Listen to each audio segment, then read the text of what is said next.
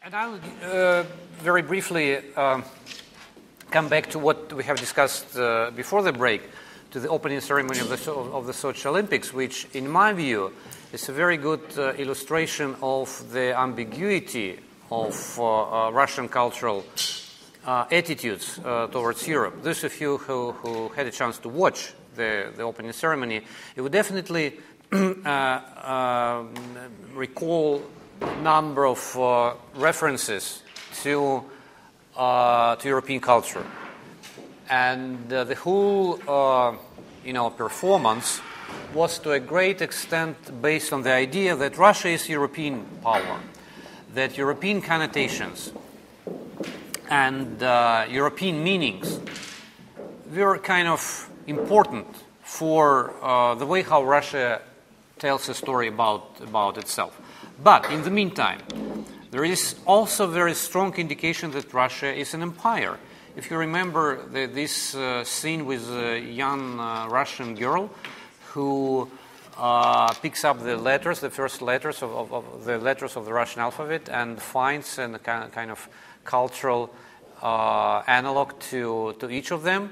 So the letter E stands for uh, imperia, empire. Well, the Russian language is quite rich. Of course, we could have found many other words to, you know, uh, to, to, substitute empire. But empire intentionally was uh, used as one of uh, signifiers, uh, as one of uh, strong indications of what uh, Russia is about. And other references to um, Catherine the Great and other historical uh, historical figures also and strengthen and substantiate this uh, type of discourse. And the whole thing here is that, in fact, through uh, Sochi Olympics uh, opening ceremony, Russia tries to legitimize not only its status as, as, as European uh, country, but also as an empire. So, being European and being empire does not necessarily sit well together with each other, because for many in Europe, these two things would be very much different, would be conducive or leading to, to different directions. That empire, if, if either empire or European power, Russia trying to, you know, to blend together these two things and try, try to, to, to claim that yes, we are both. We are empire and we are European power. I don't know how successful is this experiment, but I think it's something which needs to be uh, taken into account when we uh, speak about different uh, you know, modalities of uh, Russian identity discourse. Uh, now, um, Russia and Europe, uh, whether Russia is a European country or not, it's, I mean, I, am not going to engage in this discussion too much because I think it's endless, and to some extent it's, it, it, it's not that fruitful because well, there are people who would claim yes, Russia is a European power, others would say no. I'm more interested in uh, those discourses that uh, uh, you know develop uh, different uh, different policy uh, policy perceptions, and this these discourses that I will try to try to, to discuss today. those who claim that in, in Russia, basically I will speak about Russian discourses, those who would claim that Russia is a European power, let's try to see what kind of arguments they, uh, they refer to. And I would call all these arguments very reductionist, just in a sense that they reduce Europe to something which is only one, maybe not the central element of the concept of Europe, as seen from more kind of cultural and uh, sociological and even philosophical perspective. Well, the first argument is that Russia is Europe because of uh, Russian culture. And after that, you can have this, you know, uh, traditional list of uh, the proofs for uh, Russian European identity. Pushkin, Dostoevsky, Tolstoy, the Bolshoi theater. I mean, all these various standard uh, you know, set of arguments that are supposed to claim, yes, because of that, that's what can be used as a certification for uh, Russian European, uh, Euro- European you know, belongingness. To me, it's a very limited uh, argument.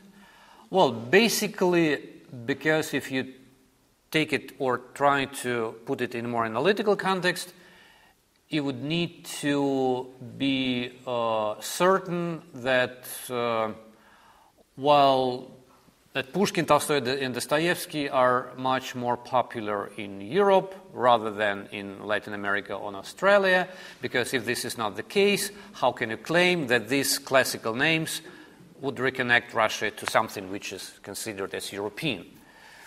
Uh, and so that's, uh, that's an argument which, in my view, is not uh, really that strong. And, and, besides, I would definitely claim that these names are more kind of likely to belong to a global culture rather than to European culture. So you can uh, claim in this respect, if you use this name, that Russia is a global power because of Pushkin, Tolstoy, and Dostoevsky, that would be complete nonsense. If Russia is a global power, definitely not because of this. The second argument is that Russia is a European power because Russia reproduces many patterns of consumption that are typical for uh, European consumerist uh, culture. So if you go to uh, major Russian cities, you will see that, well, basically, people do not really differ from what you could, could see in many European, uh, I know, shopping centers or malls or other places of mass consumption.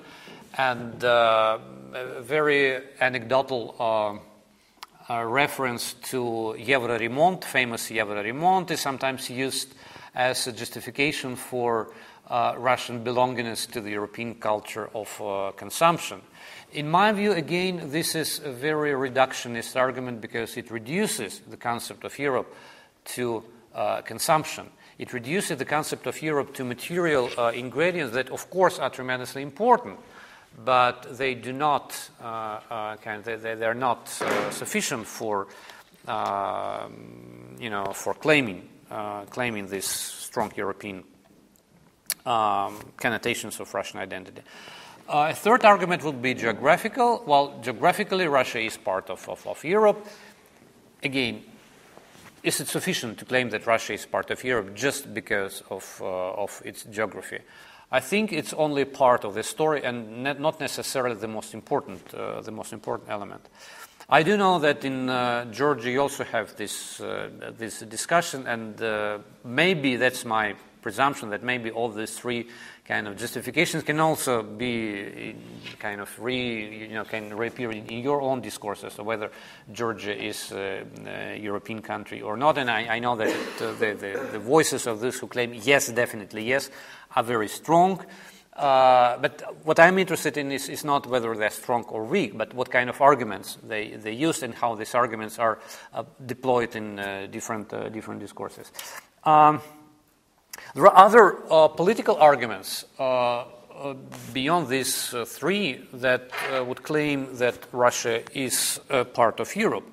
and those arguments theoretically are based on famous book by the Norwegian scholar and diplomat Iver Neumann, who claimed that for Russia traditionally it was uh, very pertinent uh, and very frequent to divide Europe into two parts. And these two parts uh, he uh, called a real Europe and a false Europe. And this dichotomy between real and false Europe indeed is something which has a very, uh, has very strong cultural uh, background in, um, in Russia. A false Europe, and this is not only a historical thing, it's also something which we can to some extent see in uh, uh, today's uh, Russian policy uh, towards Europe.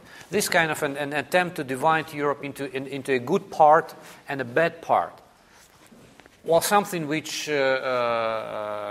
uh, uh, Donald Rumsfeld did with Europe, claiming that it, it, it's, all, it, it's, it's kind of, you know, old and new Europe. Well, of course, the criteria for distinction were completely different.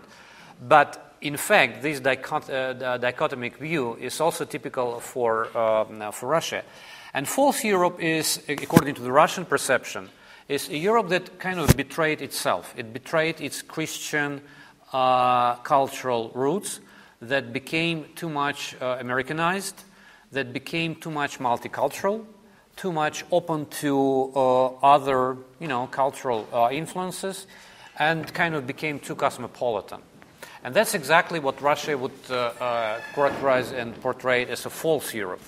Plus, of course, a dependency on external power, which is in this case uh, the, the United States. Against this background, uh, Russia claims that there is a different Europe, there is a real Europe. A, a Europe which is Russia friendly, definitely, but it's not, uh, what, what's important is not that it's Russia friendly. The most important is that this is a Europe that uh, tries to preserve its uh, own identity, its historical uh, legacies, uh, including the Christian, uh, the Christian roots of, of, of, the European identity. This argument has at least two different political, political repercussions.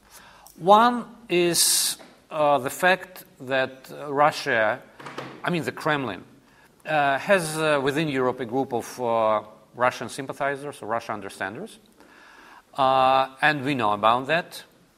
Uh, these are basically uh, political forces or political groups that gravitate towards either far right, European far right, with exemplary. you know, references like Front National in France and many other uh, many other groups, and uh, to some extent uh, the radical uh, left uh, parties that also, uh, you know, feel a little bit of sympathy towards some of, I, I, would put it in a very mild and cautious way, towards some of the of, of, the arguments that emanate from um, from Moscow. So, in this sense, Russia tries not only to kind of mentally divide Europe into good and bad parts, but also try, tries to take some advantage of that trying to claim that Europe is not united. You, when, when, when, you say Europe, you need each time to specify what kind of Europe you mean. Do you mean a Europe of Angela Merkel, or you, need a, or you mean a Europe of uh, uh, Marine Le Pen, etc.? So Russia tries to kind of uh, make this argument working for uh, the sake of uh, uh Russian diplomacy, and this has many quite practical, practical effects because uh, we all know that it's basically Russian understanders in Europe that are against economic sanctions, etc. So this is kind of a group of uh, partners, reliable partners that Russia can uh, use uh, in case it needs to, you know, promote certain vision, certain policy in uh, the European Union member states, uh, etc. But that's one policy track, and if you are interested in that, in, in that again, just let me know. I can be more specific and I can uh, discuss this topic uh, as well. Uh, the second effect of this division between real and false Europe is that Russia, quite paradoxically and maybe even unexpectedly for many, uh, tries to claim that Russia itself is a real Europe. The first who said that was the actual Vice Prime Minister Dmitry Rogozin when he was at uh, the, uh, the, the, top of the, well, mindly nationalist Rodina party. Uh, one of his strongest statements back to 2001, 2002 was that uh, Europe would fail to kind of uh, delete Russia or to kick Russia out of Europe because we are not only a part of Europe, we are the best part of Europe. And he said, and, and, and he explained why. While with no same sex marriages, with no prostitutes in the parliament, he referred to certain you know, uh, empirical evidences, and with very strong attachment to Christian roots that always were a cementing factor of the concept of Europe. End quote. Initially, it was a very provoking and a very weird statement, uh, which, um, you know, it's like, look who is, who is, who, who is talking. But still, uh, the idea that Russia is not just a part of Europe, but it kind of incarnates a real Europe, something authentic, something which uh, uh, the European um, identity was based on for uh, decades, if, if, not for centuries, is a very strong among Russian, uh, uh, Russian political elite. Uh, again, it might be very controversially received or perceived from, uh, fr- from the outside, but looking from the uh, domestic uh, perspective, that's what, uh, what we definitely need to uh, to take into account. And in, in principle, this, this type of policy discourse, again, can be instrumentalized in many, in many specific political situations. The, even what is more interesting is that uh, Russian political discourse is full of concepts that have a very clear European background, very clear European foundations. Uh, so, in this sense, uh, in, in, in, terms of uh, the way how Russia discourse is organized, Russia did not invent anything that would be non European or un European. It uses the whole vocabulary of uh, uh, European political discourse, European political narratives, uh, which, of course, is a good news, because in this sense, Russia, by you know, using this European concept, well, they are European by their origin, they are European by their cultural and political background. Russia kind of this demonstrates its uh, symbolic attachment, its symbolic, uh, you know, liaison to um, um, to the idea of Europe. But my point here is that uh, Russian Europeanness, in this sense, is very uh, imitative. It's, it's, it's, it's imitation of uh, Europeanness. It's basically an imitation of being a part of Europe that Russia uh, demonstrates by referring and by using or infusing European concept in its discourse. And I will just try to, uh, to, to, demonstrate uh, how far Russia goes with this imitation of uh, Europe. And the concept of imitation has a very strong uh, roots in many cultural theories, in social constructivism, for example, while there is enormous consensus uh, in claiming that uh, imitation is a kind of uh, attachment of your discourse to some examples which you consider successful. You do not imitate those who do not, you do not consider successful. You imitate those who are kind of you know, exemplary for, for your future. So, in this sense, this very you know, tendency or trend of uh, borrowing Western concepts for describing what Russia is uh, definitely places or deploys Russia in, uh, in, in, European uh, kind of perspective. but I, I, I, as I will explain, it's completely different, different European perspective. In, let's say, cultural semiotic, you also have the concept of imitation. Uh, which basically uh, boils down to the idea of uh, playing games with, with your interlocutors and your partners, kind of trying to deceive them. So you, t- you, you, you, borrow their language, but you infuse completely different meaning in, in that. And uh, people with a strong cultural semiotic background, yeah, like, like Yuri Lotman, for example, they would definitely claim that Russia plays a game with Europe. Russia plays a language game with Europe. Claim, okay, look, all our vocabulary is completely European. Why, why, why, why don't you accept us as, as a full-fledged European, uh, European country with European discourse? We do not borrow concept from, from, from China, from, you know, from, from, from India, etc. We don't speak this language. We speak European language. But this is in, indeed a, a language game because by speaking, by adhering, by you know, accentuating the importance of this European concept, Russia uh, infuses a completely different content. And this is what makes uh, the whole imitation a real game, a language game. And I will just uh, demonstrate uh, uh to you uh, how, what, what it looks like and how Russia uses this, you know, imitative te- technique to try to present itself as a European country, but again, uh, only to a limited extent uh, committing itself to European norms and European uh, values. So it's kind of being European, but without accepting most of the European of the European values. It's really a game. So the first concept, which is very interesting uh, in this respect, is the idea of democracy. Well, it's very simple, but if you would like to see how big is, how, how, how huge is uh, the gap between Russia and Europe, you will definitely need to start with democracy. Uh, the kind of uh, game here boils down to the fact that Russia never rejects uh, the, the, concept of democracy. Russia would never claim that democracy is something which we should not use for communicating or for you know, uh, explaining uh, the, the, the, essence of, uh, of, of, our narrative. But Russia sticks to a completely different version of uh, democracy as opposed to, to, to, to, the European Union. And this difference is uh, very well il- illustrated by the fact that Russian understanding of democracy is basically majoritarian. For Russia, democracy is the rule by majority, full stop. And if majority would decide to execute the minority, while that would be democratic because that was a decision taken by the majority to execute these who are not, know, to kick them out, to deprive them of Russian citizenship, do, do something like that. Well, that would be, according to the, to the logic of the, of, of the hegemonic discourse in, in, in, Russia, that would be uh, pretty much, uh, pretty much uh, democratic. The thing here is that it drastically differs from the European understanding of democracy, because for Europe, democracy is basically is more about protecting minorities rather than about the rule of majority.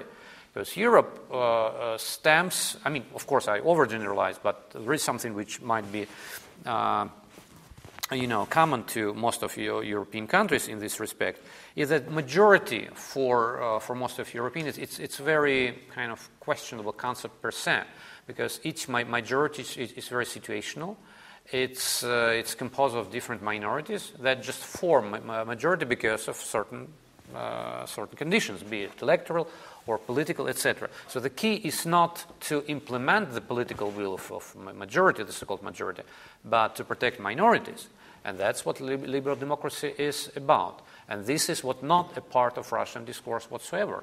There is no debate on minority protection in, in, in, in Russia. So in the, it, it's not even a part of the discussion, which means that the gap is, is, is really, uh, really huge. And this explains a lot uh, in uh, the way how uh, different uh, minorities, ethnic, religious, and uh, sexual, are treated or mistreated in Russia, just because, because philosophically they are, do not fit into the Russian understanding of democracy. It's not about democracy. LGBT in, in, in the Russian context, it's not about democracy at all.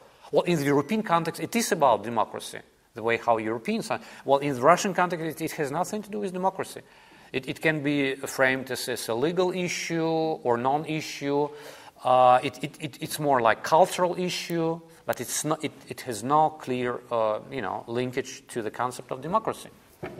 And that's what makes uh, Russian, you know, uh, the way how Russia uh, perceives and operationalizes democracy very different. the second point is that Russia, unlike many European countries, tries to externalize democracy, to apply this concept not for domestic use, but to convert it, to turn it into a foreign policy tool. This is not very typical for, uh, for let's say, uh, for European. Of course, there is a concept of democracy promotion uh, up to regime change, but still, uh, it's. Uh, I mean, the field of utility is uh, very, very much limited. Russia intentionally externalizes the, the, democracy discourse, claiming, for example, that the European Union itself is uh, very kind of you know vulnerable in terms of uh, many democratic uh, standards. Well, starting with I, I, know from a couple of years from now, the Russian Foreign Ministry started to publish an annual uh, what is a book on uh, white book or you know what the, the color is on the violation of democratic principles in the European Union member states, which reminds all Soviet practices of uh, claiming, look at yourself first, something like that. So this is kind of exchange of the same, you know, the same accusations is reproduced in uh, today's Russia. Well, the best example here would be Baltic states. That's a very strong argument in the Russian discourse that the way how Russian uh, speaking uh, minorities, well, in this case, Russia is sensitive to the issues of minority, but as an external issue, not as domestic. Russian speaking uh, minorities are mis- mistreated in Europe. This attests to the lack of democracy in the Baltic states. And since Baltic states are member of the European Union, okay, here we have a problem. Well, my comment would be that, of course, I'm not denying, especially since I do live in, in Estonia, and I, I, I, I do know many uh, things from, from the inside. I do not deny that there might be some, uh, some, some issues and some problems. But what Russia completely disregards is that the most positive changes in the Estonian legislation that became much more inclusive than it used to be in the beginning of, uh, of 1990s happened because of the European Union, because of the pressure of the European Union because uh, Estonia uh, was many times reminded that you need to uh, stick to the European standards as soon as it comes to uh, integration policy. And most of the positive changes were uh, results of the Europeanization of uh, Estonia. So, in this sense, Russian kind of argument of blame, blaming the European Union using the case of Estonia does not work, because the, the case of Estonia proves exactly um, the, uh, the opposite.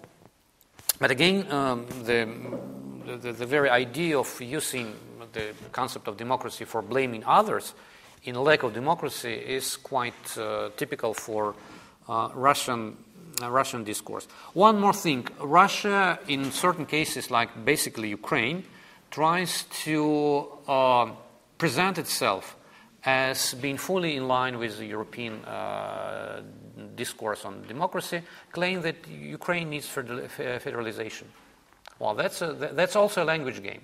That's also kind of a situation in which Russia intentionally uses a concept that resonates very positively in, in Europe uh, federalism, federalization. Or for, for many countries, it's one of the undeniable elements of their domestic structures. For countries like, uh, I know, uh, for example, uh, Germany or for the European Union as such. I mean, there is a federalist movement within the European Union that was very instrumental in, uh, you know, designing the whole, the, the whole idea of, of, European Union with the concept of subsidiarity, etc. So there is a very long uh, tradition of federal thought in Europe. But, of course, we do understand that Russia is interested in federalization of Ukraine only because this federalization will just simplify uh, or facilitate uh, Russian influence there. It's a kind of, you know, uh, dispersing authority and making the country more regionalized, which would give just more uh, space for uh, Russian uh, not that friendly policy uh, towards towards Ukraine. So again, the word as such is good, and it's very hard to claim to to, to kind of conceptually uh, argue against uh, federalization, especially from the European perspective. That would be a little bit strange. But if we put it in Ukrainian context, that would mean a very clear uh, foreign policy tool. So that's about democracy. Again, we, we, see that the gap here is very, very significant. uh, my second uh, cluster of concept is related to globalization rhetoric. How Russia tries to plug in globalization debate and use uh, this globalization rhetoric for uh, advancing its own uh, political project. One of the most interesting things is that after uh, the introduction of sanctions against Russia, one of the Russian counter arguments was 100% in line with uh, the idea of globalization. So many people in the Kremlin said, okay, how about interdependence? Well, we are we, we live in an interdependent world, right? Yes, we do. This is one of the cornerstones of the idea of globalization. Okay, if we live in the uh, interdependent world, sanctions would definitely backfire. They would hurt you, not us. So it's, it's kind of self defeating policy. This is a very strong argument in the, in the Russian discourse.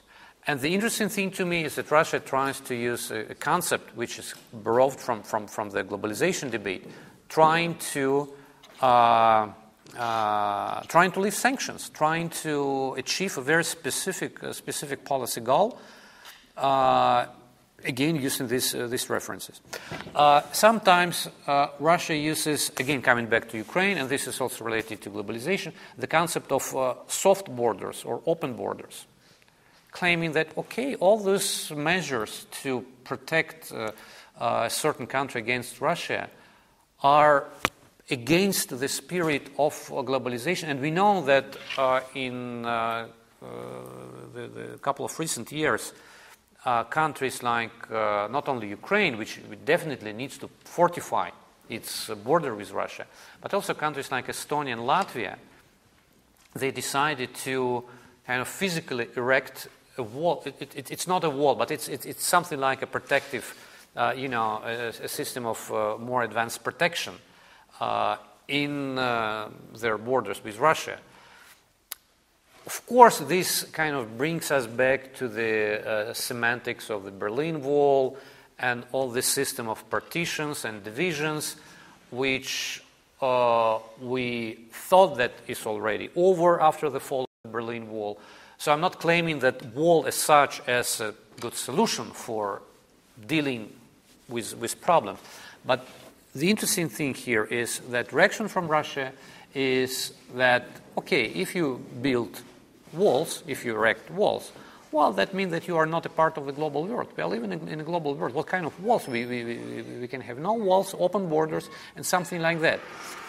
Of course, it sounds good without this specific concept, but being placed in this specific con- uh, concept, of course, that uh, means a very clear uh, instrumentalization of, uh, uh, of the concept for the sake of uh, uh, greater um, influence of Russia, including many informal, informal ways and informal means of this influence. one more concept human security and all those human related uh, issues and concepts that, that, are very popular in many European countries, and uh, to some extent, uh, Europe is proud of being one of the global promoters of the idea of um, human security. And at a certain point, Russia decided that it's exactly the concept that Russia needs to hijack, that Russia needs to kind of uh, to, uh, to borrow. And strangely enough, and paradoxically enough, it was uh, the, the war with Georgia in 2008 that, for Sergei Lavrov, uh, became uh, the first case when Russia implemented, that's almost a quotation, the principle of human security in the battlefield. Well, after that, it became clear that Russia understands human security drastically different from the original meaning of this concept. And this original meaning was about basically defending each human life, regardless of uh, whether he or she is on war, one or another side of, of the barricade. The human security is about the value of human life, which needs protection in case of conflicts without asking question what is your political or ethnic or religious affiliation. It's about saving lives. That's the initial idea of the, of, of the human security. Russia understands human security as a right to defend its uh, compatriots, its citizens in the battlefield under the pretext of uh, saving their lives. But I think it's very uh, conceptually it's very different, as I have said, from, uh, from the original meaning of that concept. Uh, I also would like to draw your attention to the fact that Russia used uh, the reference to humanitarian assistance and this famous humanitarian convoy to Ukraine. That was not that humanitarian uh, as such, but the interesting thing is that Russia presented it as, as, a humanitarian, which, in my view, was also a kind of an attempt to, to use uh, the widely known in Europe rhetoric to present itself as a defender for the case of uh, uh, human security. Uh, one more thing is soft power. The concept of soft power, of course, it does not have a and uh, let's say strict uh, European connotations because it was invented, as most of you probably know, by the American political uh, political scholar Joseph Nye. But it's basically in the European context, the, the, whole idea of uh, normative power uh, grew in uh, of soft power grew in importance. And in fact, the, the, the, concept of normative power, and Europe is known for its normative power concept, is one of the offsprings of the soft power concept.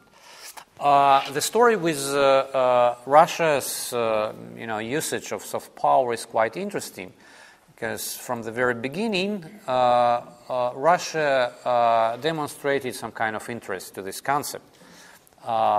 saying something like, okay, many countries try to you know, switch from military to non military tools of influence, so it's kind of a global trend. So Russia needs to find its niche, its, its, its place, needs to somehow to, to, to, to, take advantage of this concept. Uh, that was a kind of initial reaction to that. But uh, later, it turned out that Russia perceives soft power with a little bit uh, more skepticism as a tool to uh, influence the political developments in uh, certain countries and that was the basis for Putin, who characterized soft power, Western soft power, as illegitimate. as something illegitimate, legitimate tool for changing regimes, for you know, uh, promoting uh, certain political project, etc. So the question was whether Russia would like to uh, adopt this concept, or Russia thinks that soft power is an illegitimate way of changing regimes and uh, bringing to, to, to power, uh, you know, um, certain groups of people.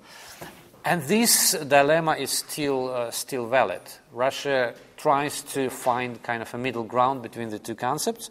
Uh, on the one hand, it tries to develop its own soft power tools, its own normative, I, would call it counter normative uh, soft power. And this is a relatively recent developments because uh, Russia became a, normative, a source of normative uh, influence only I would say not earlier than 2011, 2012, when the, when the whole idea of uh, conservatism and uh, you know uh, uh political uh, political meanings of conservatism uh, became a part of the dominating discourse. But in the meantime, Russia remains very critical towards the, the, the, the way how the West in general and the, the European Union in particular use uh, their, uh, their soft power mechanism. And this skepticism, this criticism still uh, persists in um, uh, the Russian discourse. That also creates a kind of ambiguity, a kind of, a kind of uncertainty, because if Russia thinks that it might come up with its own version of soft power, which would not be kind of equal to the European version of soft power. The interesting question is what is the Russian version of, soft power?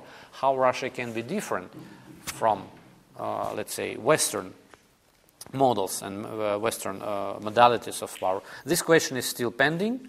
I don't have an answer.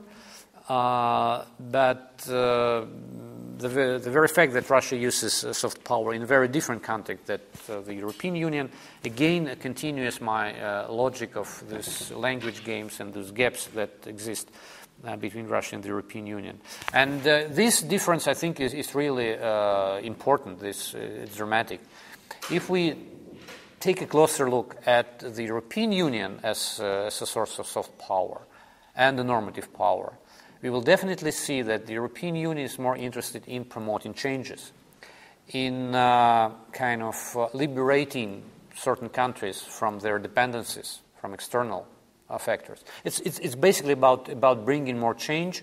It's, it's, it's about sharing the best experience in uh, government or in governance, etc. It's about uh, uh, policy transfer practices, it's about spillover effects, etc. Neither of these concepts uh, are important for Russian soft power because Russia is interested more in stabilizing the situation, in conser- kind of you know supporting basically the most conservative uh, forces in uh, its neighboring countries than in promoting changes. So promoting change is not in the interest of uh, uh, Russian uh, soft power. And this is unfortunate. This, again, this makes Russia uh, a political actor very, uh, very different from the European Union. Another, another concept which uh, I think continues this list of differences and divergences between Russia and the European Union is the idea of modernization. Uh, something which is uh, very uh, much discussed in political circles and in academic uh, literature as well in Europe but, and in Russia as well. But look how different uh, are the contexts of using the concept of modernization in the European Union and Russia. If you start Googling modernization in Russian language, while I can guarantee that 90% of all entries would be related to purely technical issues, like modernizing, I know, uh, plants, factories. It's about basically technical adjustment or readjustment. It's about upgrading something, infrastructure. And this reveals a lot in the way how Russia understands modernization. Modernization is about technical uh, update, technical upgrade it's about uh, bringing uh, more, you know, uh, technology and uh, more investments in uh, Russia, but without any serious institutional or social uh, effects.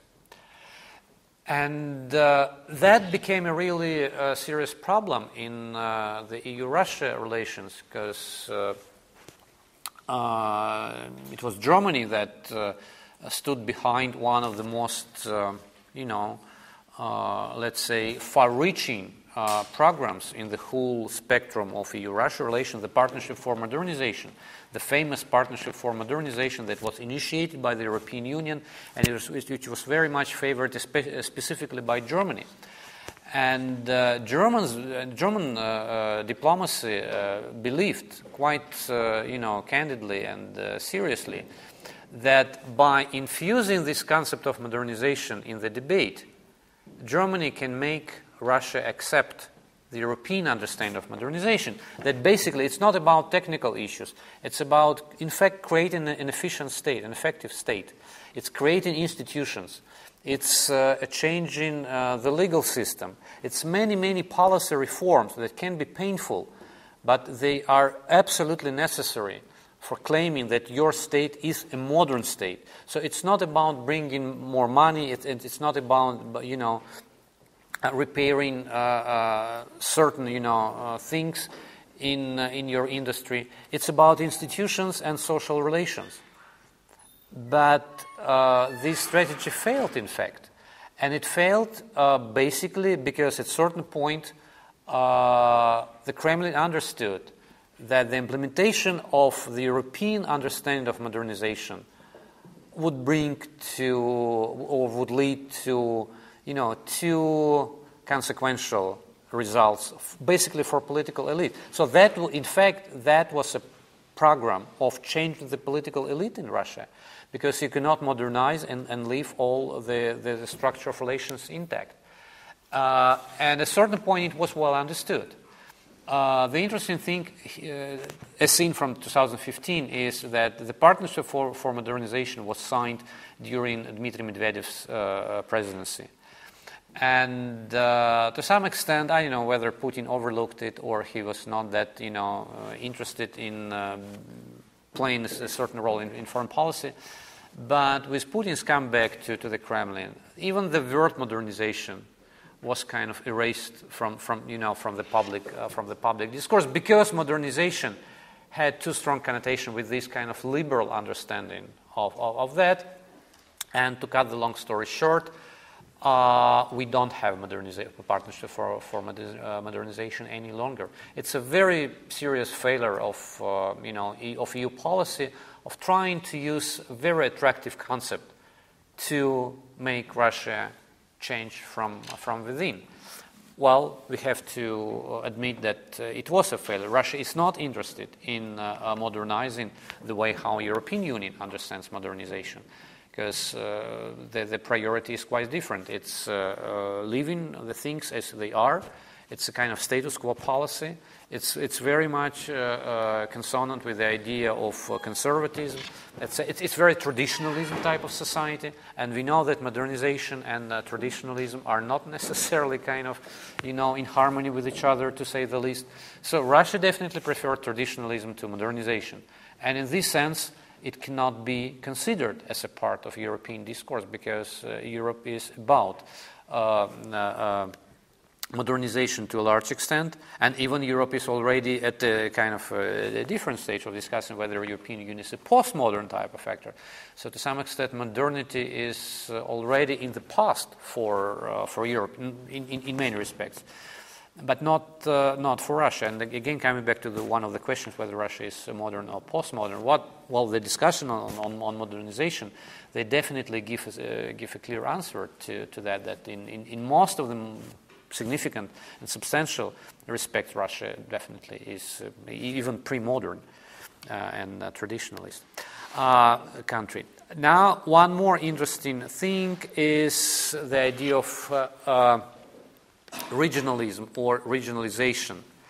Uh, one of the concepts that is very, uh, very popular in uh, many, uh, many European countries, because for the whole model of the European Union, uh, regionalization is one of foreign policy tools that the European Union uses uh, quite effectively.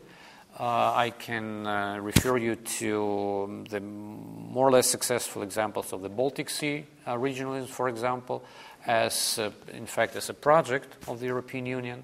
And the whole idea is that regions within the European Union, regions which connect Europe to other countries, are an important instrument to, to develop contacts, to, uh, to promote certain policy agendas, etc. In this sense, Russia again plays the same game with the European Union. It tries to borrow the very concept of regionalism and regionalization, but the content that is attached to this, to, to this concept is completely different.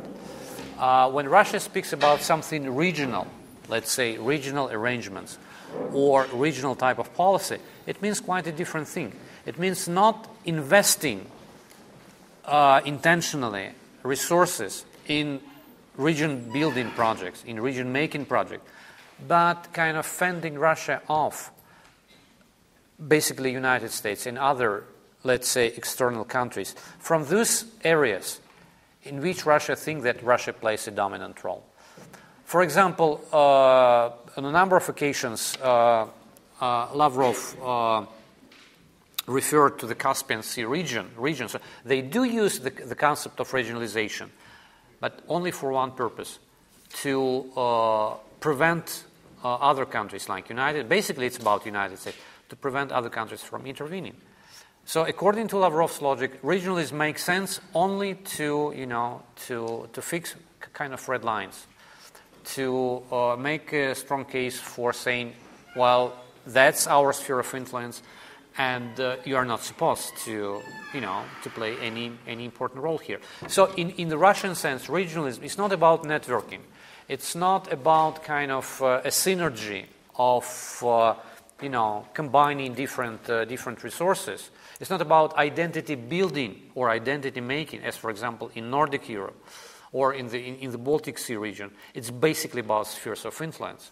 Look, the, the, the, difference is tremendous. The difference, in, in, the European, let's say, political parlance, even if we refer to, let's say, the Mediterranean as, as a region, well, it has a different connotations. It's, it's about connecting, you know, it, it's about connecting countries. It's about, you know, finding certain uh, common denominators in a group of countries. We, some of them are EU member states, some of them are external powers, but they are inter, interconnected to each other.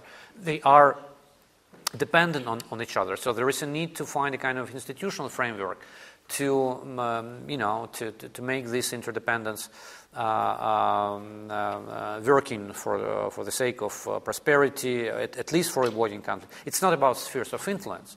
Well, in the Russian case, it is about spheres of influence.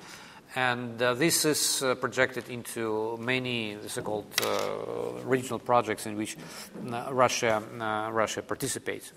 So this is, of course, this is not the exhaustive list of the concept that uh, Russia, I mean, concept of European origin, of European background that Russia uses. But some of them are uh, in the list, uh, on the list, and uh, I think they are quite, uh, quite, uh, quite illustrative. illustrative. So the final um, or conclusion that I can draw from that is that there are different ways of uh, being European, as seen from Russian perspective. And there's always uh, a debate on what you mean by being, uh, being European. Uh, Russia can be European just by trying to brand itself as a part of Europe, using, I know, Sochi Olympics, etc., using references to cultural uh, um, arguments or to, to cultural logic. But this is basically about the logic of branding. And all those big names like uh, Pushkin, Dostoevsky, etc., in this type of uh, culture, in this type of uh, politics of representation, they are becoming just brands. Uh, that's it. And uh, that's how Russia uh, can, in principle, prove its European um, credentials. I don't think, frankly speaking, that it works. I don't think that this is effective. it might bring some commercial results, I mean, in terms of tourism and attractiveness and developing this uh, uh, tourism and hospitality industry. But in my view, on a much deeper level of analysis, it, it does not make uh, Russia, uh, uh, Russia accepted as, as a European guy. I think there is a difference between building your identity on certain normative issues and just branding yourself as a country uh, which is worthwhile to visit or spend money there. I, I think, by the way, that it, it's not only a Russian problem. I think this is also a problem for many post-Soviet countries, including Georgia.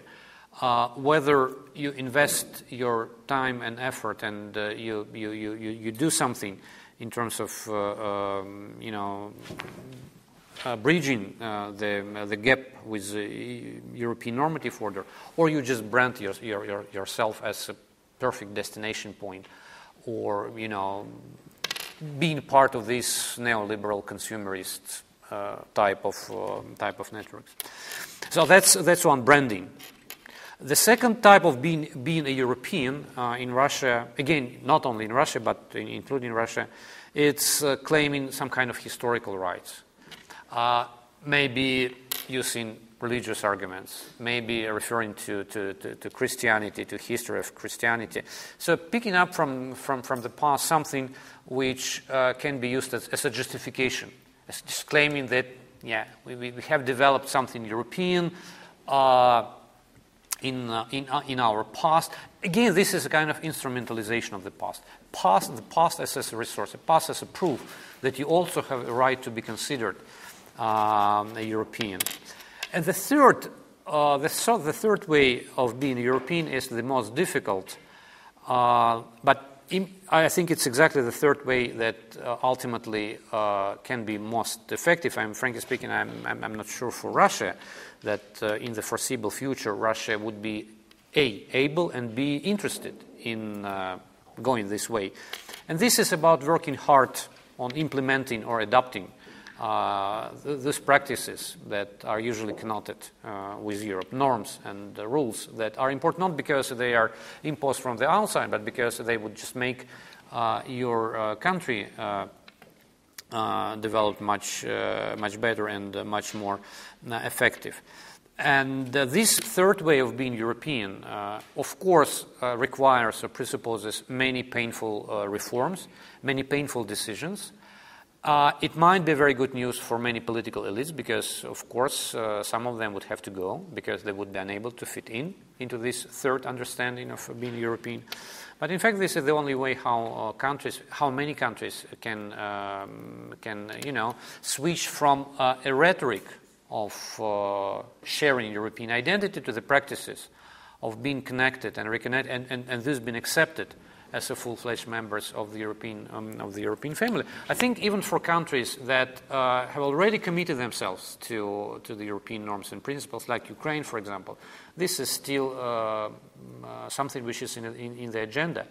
This is something that many countries need to go through, and I'm sure that uh, since we have uh, some time uh, to discuss, I would definitely be happy to learn from you how you would see from the Georgian perspective, this idea of Europeanization, and uh, whether you could find some parallels between what I have uh, uh, told about Russia uh, and uh, the Georgian uh, experience of transformation, which is, in my view, even more kind of, you know, dramatic and more dynamic than than Russian. So I would stop here, and again, I would open floor for for questions and comments, you know, all type of uh, reaction from, uh, from your part, from, from your part, from your side. And if you would like to come back to the first topic, it's also possible. Of course, they are interconnected to some extent because we didn't have much time to finish this Q&A before the break. So if you have something left from the first session, go ahead. Okay, thank you very much for an interesting pre- presentation.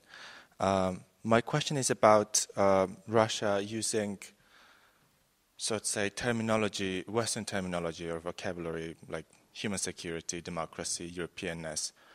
Um, do you think uh, this is a case of instrumentalization of these words uh, for using these, these, using these words for Russia's own goals, own interests, or is it uh, an attempt to fit in in terms of the mainstream identity? And uh, yeah, that's it. And then I'll Look, I don't think that we need to kind of choose between these two options. I think it's not either or. I think Russia definitely, definitely tries to fit in, and uh, to some extent, this kind of you know irritation to Europe that is quite visible, quite discernible in the Russian discourse, is uh, it, it, stems from the, the failure to fit in. It, it, stems from the, the comprehension that Russia does not fit in. And that's the second trauma which I referred to.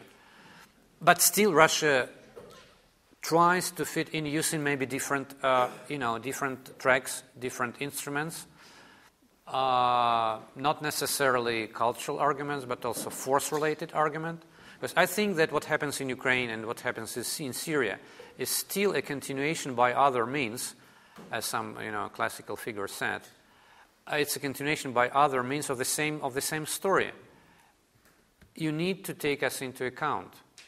Okay, if cultural argument does not work, okay, we'll use other arguments, and this is the danger of, of the whole situation because it's prone to escalation. If one does not work, okay, we'll use another argument, but we want to have the, the kind of legitimate seat at this table. We want to be accepted. We want to be taken as, uh, as, as, as, equal. I mean, the, whole, um, the obsession with equality is something which explains this escalation. Because inequality in this sense is a very modernist concept. Because we, there is no equality in social relations. We are all unequal gender wise, age wise, I mean, money wise. We are not equal. I mean, equality is a social construct. And sometimes it's, uh, it's, it's, it's, it's a false concept. So, making equality something which is uh, undisputable priorities can be very dangerous. But again, this is an, uh, uh, this an idea to fit in, to kind of to, to, to have a legitimate voice, uh, regardless of the content of the voice, by the way the, the whole um, uh, story with Russian soft power, and this is very deeply embedded in the way how Russia understands soft power. We just need to make our voice being heard. We just need to speak up. We need more money just to speak up because all those you know Europeans they just not listen to us. Well, it's so simple to understand that this is not about speaking up. This is about changing the content. You should not speak up. You should you can say something in, in a very you know, gentle, almost unnoticeable way, and you will be noticed. So it's not about, I know, shouting or doing something. But Russians think that it's, it's just about, you know, change the tone of your voice without changing content, which in my view is against self-defeating strategy, especially if it's costly. So it's futile. So I, I, think that the idea to fit in is a very, uh, very uh, strong motivating uh, force behind everything.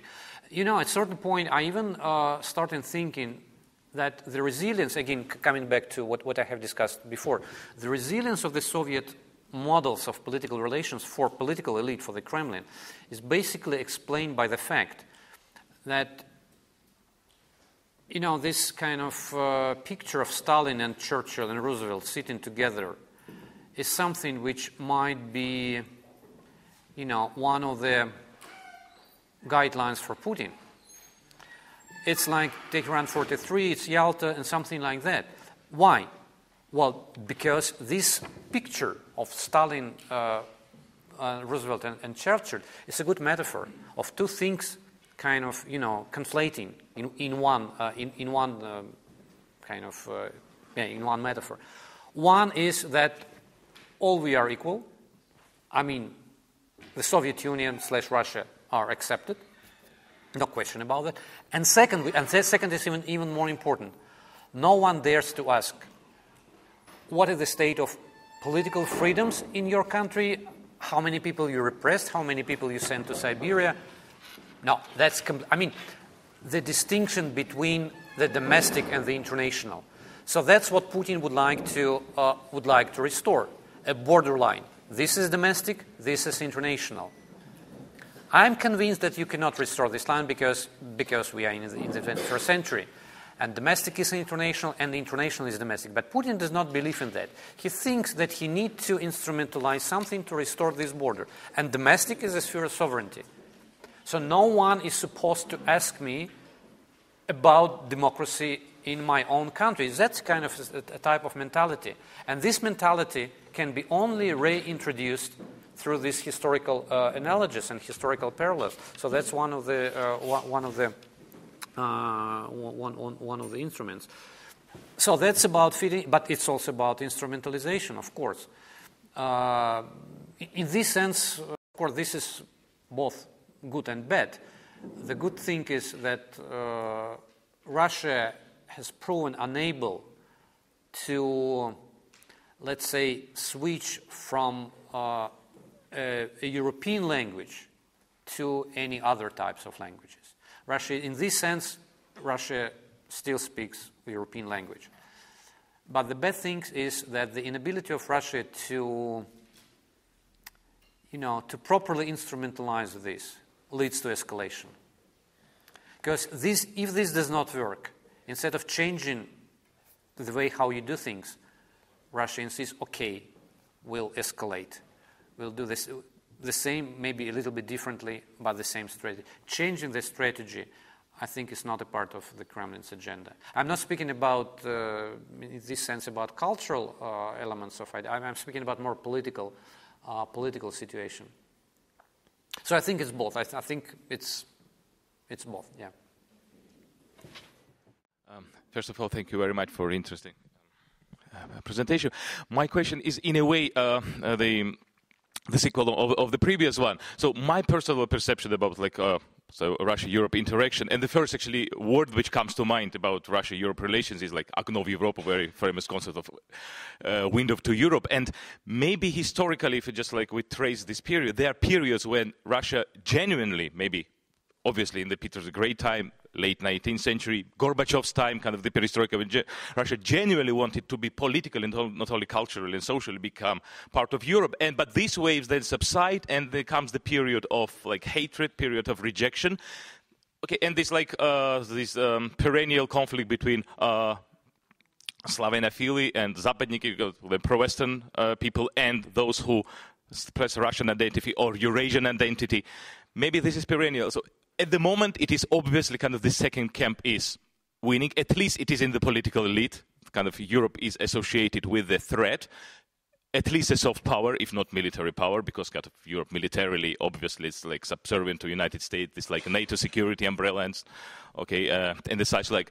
But in terms of the soft power, in terms of projection of mentality, in the projection of institutional development, obviously Europe is a threat. And today they try, okay, obviously, the Russian political elite try to instill in the minds of population the all the negative attitudes to Europa, Europa, all sorts of the like, criticism. But do you expect that because of out of necessity, because at some point Russia will have to develop politically, probably during the uh, next political elite, this new wave of acceptance of Europe, this new wave of rapprochement uh, is expected. And so the second question, maybe, if you allow, uh, maybe today, because of the real globalization which occurred okay, from the Peter the Great's time. Today, Europe is um, maybe is not as strong actor as the West in general. Maybe today, many of the qualities which were ascribed previous to Europe are now ascribed to United States, like to the West, and um, many other powers. So, thank you. Well, it's a very interesting set of uh, important questions. I will start with uh, this Okno v Europu. The problem with this metaphor is that it's too are kind of static to me. It's like you know a house or something which has you know windows and walls, etc. So you can just uh, make some uh, rearrangements. I think what uh, uh, what is missed in, in, in, this metaphor is that the concept of Europe changed, drastically changed. So, to some extent, uh, Putin tries to come back to Europe, which is not existent anymore exactly the same way as he tries to, uh, well, I mean collective Putin, not Putin personally. They try to tell a story about Russia, which is a, a story about a different country, Soviet Union. And the same analogy is possible here. Putin tries to, to, to bring Russia back to Europe, which is non-existent. There is no Europe of 19th, 20th century. There is no Europe of nation state states. There is no uh, Europe in which uh, you know, the old models of uh, spheres of influence would be workable. Well, it's true that spheres of influence is a European concept. It's true. Formally, yes. But in principle, in essence, no. Because that Europe is already over. And this distinction between today's Europe and the Europe of the past for Europeans is constitutive. It's not marginal. It's, it's, it's at the core of their understanding of, of, of Europe. So that's what I think uh, he does not understand properly when he tries to kind of reconnect Russia with something which is non existent. Uh, concerning uh, uh, this kind of you know balance between uh, westernizers and uh, slavophiles or you know more kind of um, you know pro um, pro-Western and, and, and, less pro-Western uh, fractions or factions in the political elite. Well, I myself, I'm, I'm, I'm, not sure to what extent these people who started this, you know, uh, this conflict, verbal, linguistic conflict with Europe, how far they are ready to go with that. Because on the level of personal strategies, uh, it's 100% clear that all members of the Russian political elite, A, they have their children studying in best European universities, not in Vietnam or Cambodia or China, sorry to say, but it's in Europe. Their wives, well, if they are not under sanctions, they would go for shopping basically to Rome, uh, Milano, but not probably to, let's say, uh, other, let's say, more Oriental. So, in this sense, they are I suspect that they have banking accounts basically in European banks. So, in this sense, they are, on the level of their personal strategy, they are part of Europe. And, but this makes the, the, the whole story even less, uh, less rational and more kind of, you know, uh, strangely looking from the outside. So, in fact, this is a self defeating strategy for many of them. My interpretation is that uh, initially, the people who initiated this conflict, they did not want to go very far with that. They wanted to limit this conflict on, on kind of, you know, game-like level. It, it's about one more language game. They did not expect that sanctions would be serious, and this is not a joke. They would not expect that uh, in many other in international contexts, like in uh, FIFA, for example, serious investigations would be, would, would, would be taken, even if it's detrimental for Europeans and themselves, including Germany. Okay, but there is a kind of, you know, momentum. There is so they did not uh, uh, expect that this might might go very very far, and now this kind of the the, the logic of escalation uh, prevailed and they do not know what to do in this situation because just uh, you know step back and uh, saying something okay we are sorry we a little bit you know uh, overrated our that, that would be self-defeating. So it's it's logic of putin who cannot who cannot afford a step back in any possible senses. For for him that would be a, you know that would be a, a, a defeat. And that would be a complete, you know, uh, erosion of his of his political political party. Yep. So I think this is a political logic that that, that now prevails and that prevents uh, from uh, from from finding and looking for even searching for uh, for compromises. Each and, and, you see that the escalation of the, the most recent events with the relations with Turkey. Uh, I think that escalation is self-defeating for Russia because Russia loses allies. I mean, Turkey was so nice to Russia in many senses. Even after the war in, of August 2008, while they came up with a platform, etc., for cooperation, they didn't say a word after annexation of Crimea, although they did have some stakes there because of uh, Crimean Tatars, etc. They were, they're trying to be very nice.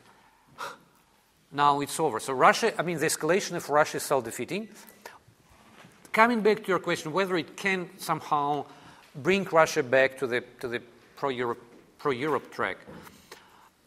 I think that it, it's, it's only structural conditions or structural circumstances that can facilitate this kind of uh, uh, comeback. One would be a very serious threat from, uh, from Islamic uh, ra- radicalism. that can form a certain kind of coalition. But I don't believe in uh, you know endurance of this coalition. If this coalition would uh, would happen, it, it will be more technical than political. And I don't think that Russia would be able to make serious concessions. The second structural factor will be China. And I think this is something which we need to really closely monitor because, well, I hate to predict, but in this sense, I can afford pre- predicting. Disappointment with China will be huge. It's only a matter of time. There are so many hopes, there are so many illusions that, okay, the Europe betrayed us, the Europe is not sufficiently, you know, friendly, and etc., etc. Okay. Well, this is not okay because China develops its own strategy. China, it, and it's a very smart strategy. Verbally, they support Russia. They would say, okay, okay, no problem. But this, they sell this support in financial terms. That's it. And they just uh, will, will keep going with that until uh, to the point that Russia understands that, okay, partnership with China is a partnership between uh, the rising giant and the junior partner. And sorry to say, Russia is the second. And I'm, I'm not sure that Russia is ready to, to, take, uh, to take this role. I mean, the role of junior partner of, of, of China. I mean, there are so many uh, already, uh, you know, uh, discussions on uh, whether Russia uh, already made some uh, gestures toward China and, and, and, concessions. And there are rumors that Russia is ready to sell land to, to China and many other things. And this is a part of the, of the discourse. Regardless of whether it's true or not, I don't know. The, the, the important thing is it's part of the discourse. I think that the disillusionment will be very, uh, very, uh, you know, strong, and Russia will sooner or later find out that partnership with China is too costly, and China would never take Russia as as equal as the European Union did. Never. And that's the only hope, in fact. Uh, my comment uh, would be, first of all, regarding the first part of the presentation. Uh, and uh, I think that it, would, it, was really interesting to bring these cultural uh, narratives in the political discourse. And I really think that these um, uh, cultural things really help us somehow to understand and really um, understand the shaping process of the foreign policy of the Russia today. And um, as you have discussed the central idea why Russia is uh, trying to bring these uh, post-Soviet, uh, these Soviet symbols in modern era in, and the modern politics, is that Russia has a trouble to overcome um, the come out of what is Russia today. can you somehow relate this with the idea that um, this Soviet period has really positive, um, uh, positive understanding in the population itself? And could you please, could you think that um, the idea of bringing the, these um, Soviet symbols really helps somehow, in a certain extent, uh, to the government uh, to raise uh, the support from the population as well, because of the positive attitudes of the population to the Soviet period. And uh, as regards the se second part, I would uh, touch uh, the issue about the modernization concept, which is really drastically different from the European understanding of the modernization. As you have mentioned, if this um, in Russia, this modernization process is mainly focused and related to the technical issues and not political ones.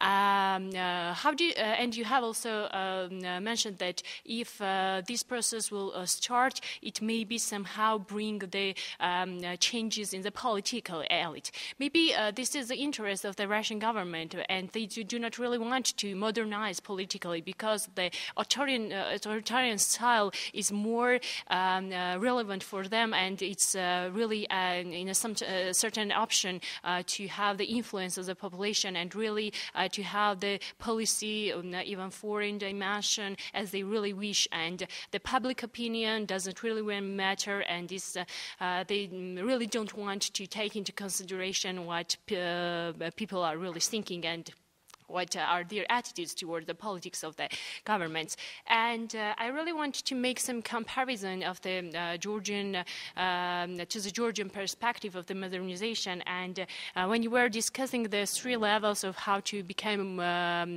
European, I really think that Georgia has chosen the third part, or um, to um, following the path of the European modernization process. And Georgia's involvement in the um, Europe's regional projects, regionalization process, such European neighborhood policy and Eastern Partnership is a really um, uh, a tangible evidence that Georgia uh, is choosing the European path and uh, is cooperating with the EU and um, really tries to implement reforms and all necessary politics, policies which really which would help Georgia to become more European. And uh, uh, in, the, in this specific issue, I really think that um, uh, if we take Russia and Georgia, Georgia is really trying to become um, to become European. This is the idea. This is a difference. Russia doesn't really want, in reality, to become European. And um,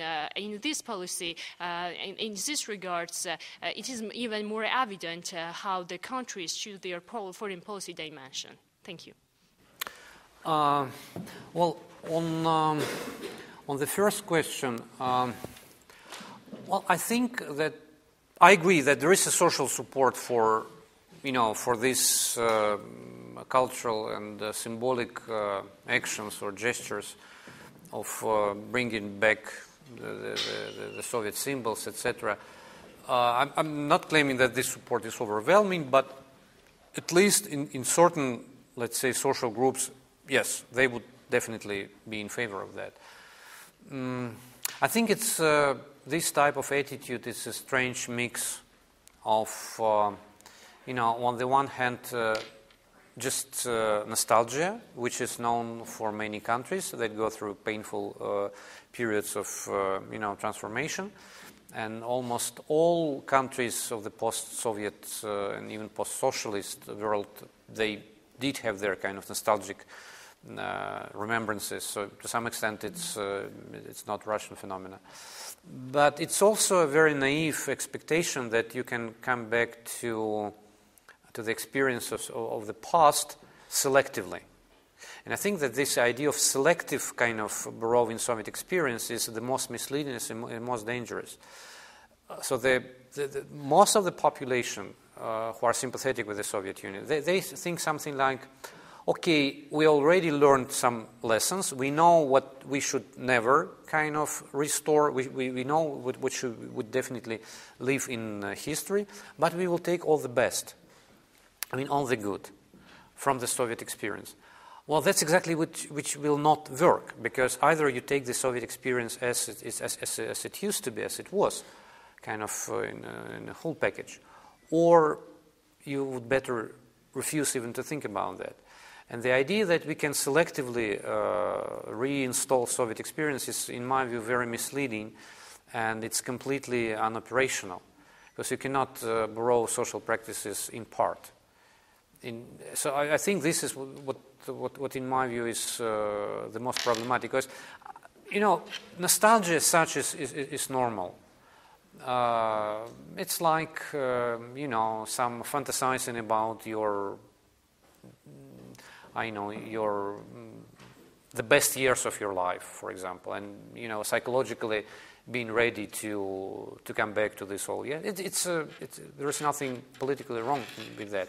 But when you would like to uh, kind of use nostalgia for reinstalling political regimes and political practices, well, that's, I, I would say that's much more consequential, much more, uh, I would say, troublesome.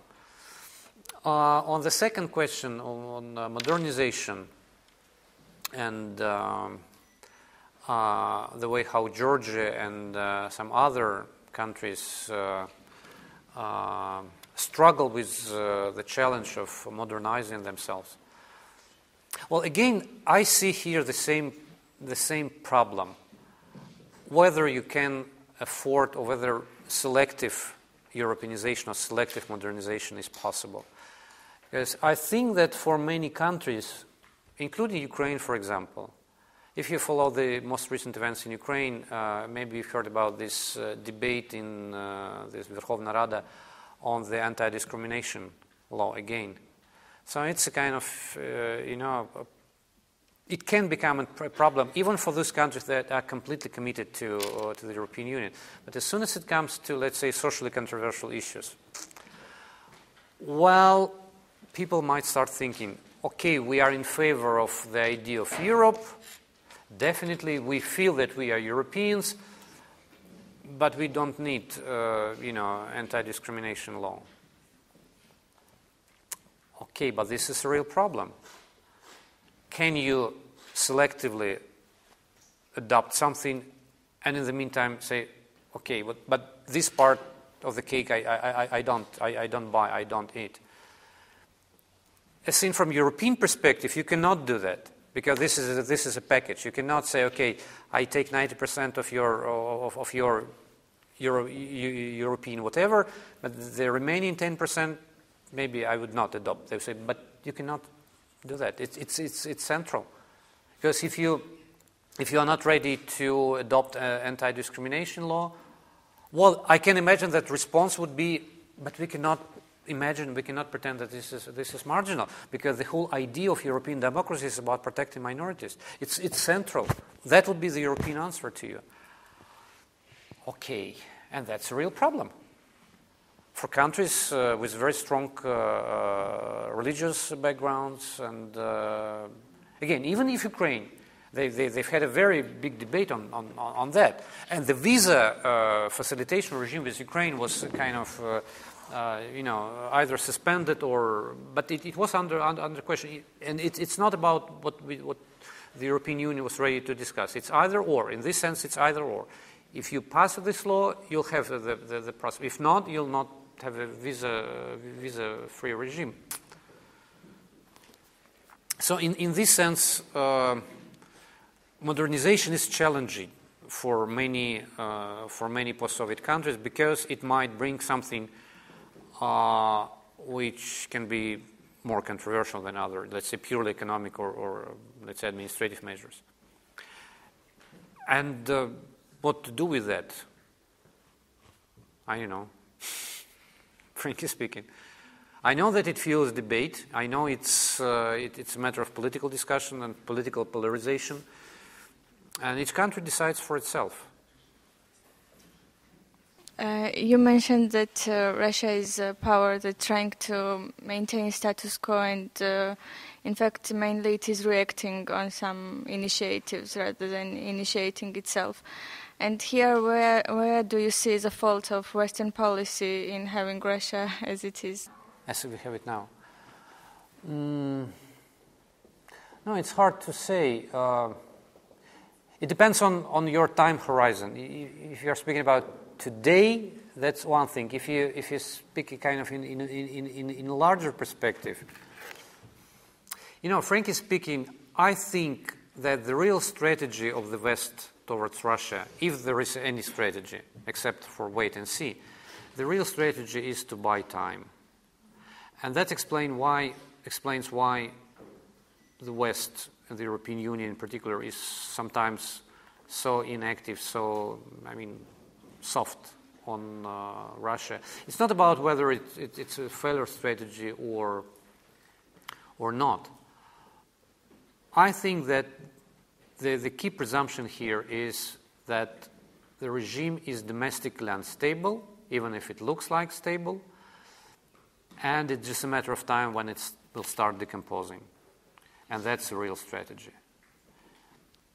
And if this is a real strategy, so the tactics is not to, to, to, to try to avoid conflicts in the, let's say, forthcoming years, because the regime would anyway be changed. Kind of because of, the, of domestic, um, um, you know, domestic problems. And I know whether I answered your question or you had some different, you know, context in that.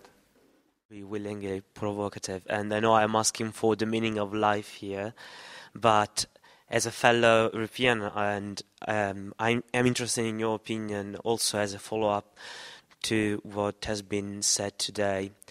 Uh, after all of this, like, how do we engage Russia? Because I think that isolation is not really an option. From the uh, Roman Empire to Hitler, uh, Russia has always been the problem. And when we we were speaking about Europe, and how do we engage now?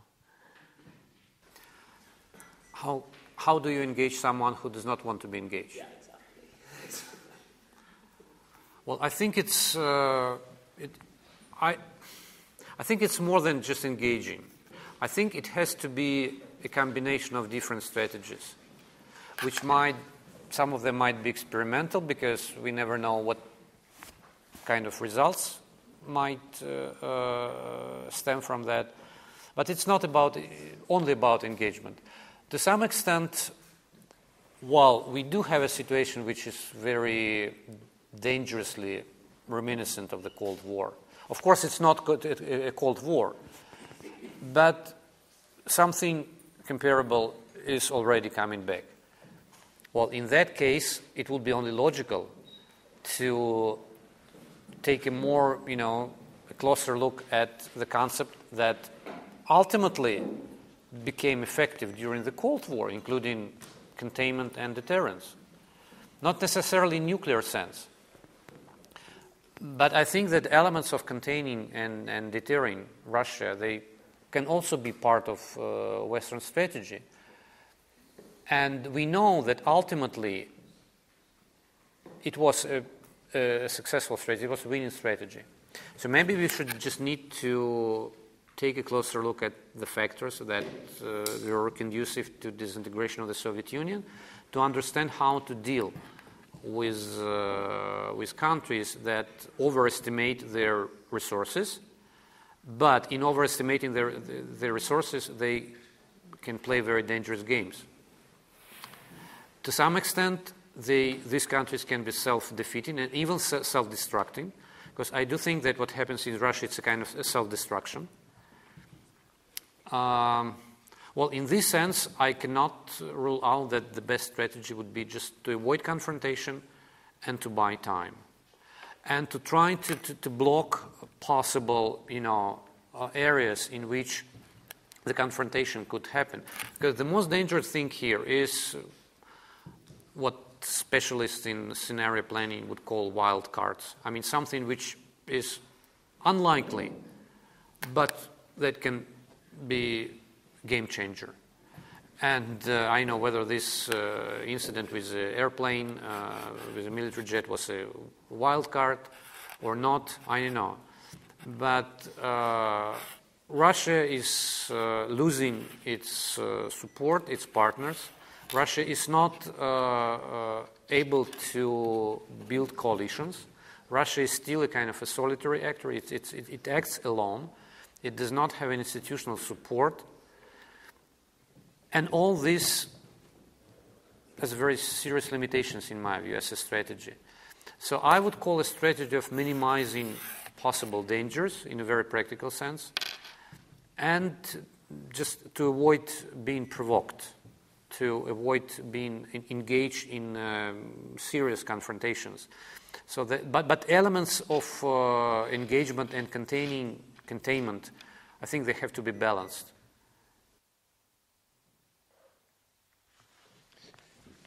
Uh, yes, first off, thank you for a wonderful lecture, and I'll repeat the previous question about the West's blame. Don't you think for a second that uh, West should have done more and spent more energy and money to modernize Russia after the collapse of the Soviet Union? And right now, you mentioned that Russia's confrontation today with the West is damaging Russia's institutions. How do you think? How will the West, after this entire anti-Western hysteria in Russia, how will West at some point support Russia's democratic institutions because you said before that Russia is right now facing a terrible crisis and disappointment with China is coming, which will be nothing to comparison to Turkey. So how will West work in the future with Russia to bring Russia much more into Europe and not against Europe? Thank you. well, I think it's kind of uh, strategic patience, first of all, because there are no quick solutions uh, it's a very, let's say, long-term strategy. Um, concerning um, specific elements of this strategy, well, I would say that uh, the most that the West can do is to, again, patiently uh, try to explain to the Russian society that there are too many misperceptions. Uh, and of course, it, it's basically reaching out, uh, you know, to social groups that are in principle you know, in favor of uh, changing the policy line and, uh, you know, coming back to more cooperative uh, track. I think it's not more, unfortunately, it's not more than from 10 to 15 percent of the population that are in principle. It, it's, it's like it, basically these are people who were able to take full advantage of 1990s, which are basically are described as a terrible period and, a period of disaster.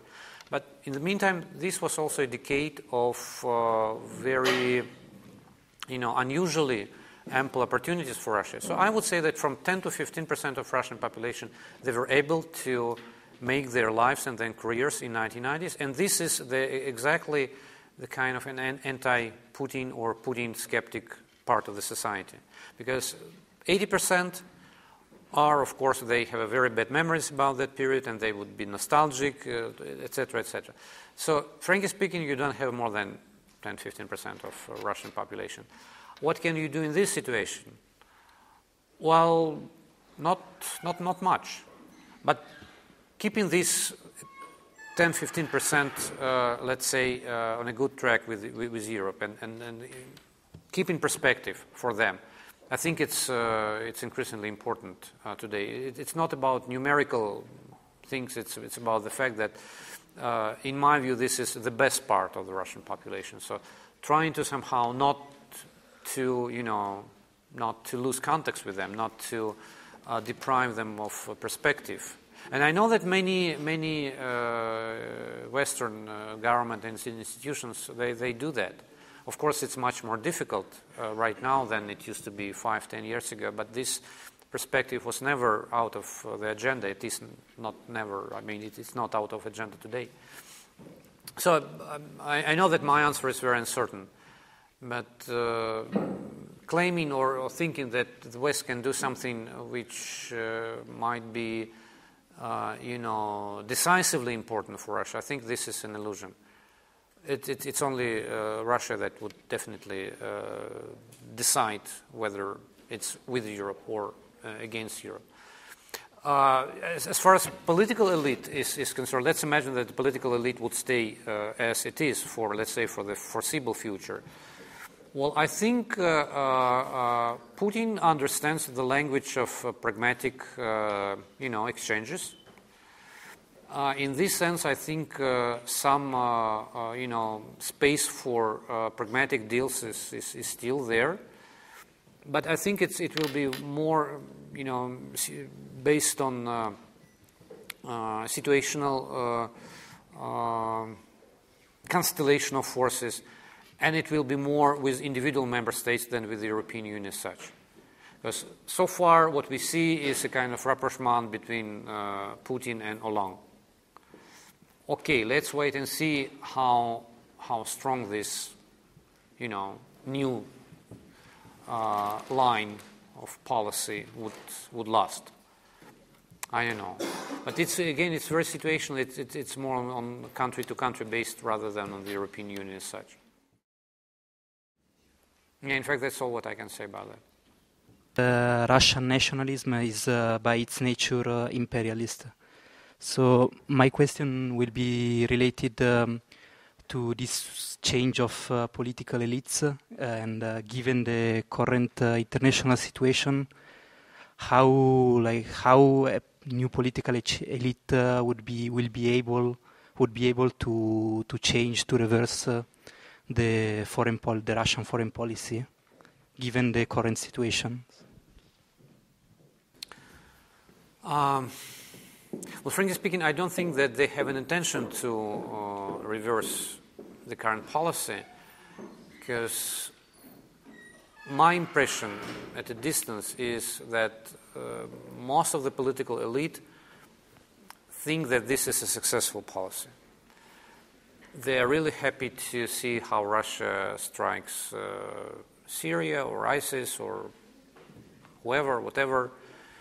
Uh, they don't take into consideration the potential threats and damages of this strategy of being in a state of war with ISIS, including domestic repercussions, and that's very serious because we have already 200 and something victims of uh, Russian policy uh, in, uh, in, in Syria. I mean, the first plane that was uh, exploded by terrorists in, in Egypt.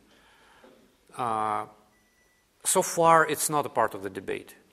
Maybe it's just a matter of time, but again, I don't think that there is a strong uh, intention to revise uh, this policy. Things might change in the case of uh, much more serious uh, degradation of economy and, uh, you know, uh, serious economic troubles. That's what I kind of misunderstand myself. Why, in taking into account the current economic situation, why the Kremlin affords, you know, that expensive military uh, military campaigns. That's a very big question mark to me. Uh, I think that this is basically a political strategy rather than economic strategy, and I strongly suspect that economic part of the even of the of the, of the military campaign in in Syria is not discussed whatsoever. I would not be surprised if, if uh, sometimes it, we would uh, find out that no one was really caring about economy. So that, that, could, that could be the case. And if this is the case, this is even much more self defeating strategy than just on political grounds. So, uh, I mean, we should not, uh, we, we, should not always analyze Russian policy uh, in rational terms, in terms of rational choice and other theories which are very well known, uh, even in terms of uh, political realism. Well, many Russians would claim, okay, we need to come back to realism from I, I know from liberal institutionalism, etc. We need to be realist. Okay, but realism starts with the concept of national interests, which is completely, I mean, undiscussed in, in Russia. What's nation? National interest is what Putin does. Look, but this is not serious.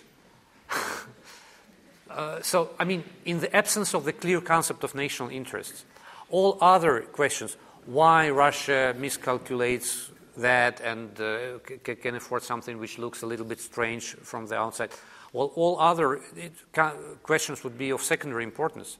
Because if we don't have the core of the, the, the realist uh, toolkits, the concept of national interest, we would always, you know, try to uh, find uh, not that optimal, you know, specific pathway in specific situations, and that's what happens. Uh, you, you, mentioned uh, my uh, characterization of uh, Russian nationalism as imperialist. Well, that's true, but again, what is not taken into due consideration here is the, the, the inevitable imperial overstretch that many empires uh, had. And in fact, I started my uh, presentation today with a kind of, uh, you know, irrational element of the very attempt to restore what failed 25 years ago. If you lost one game, okay, let's face it, what makes you think that you need to replay this game again?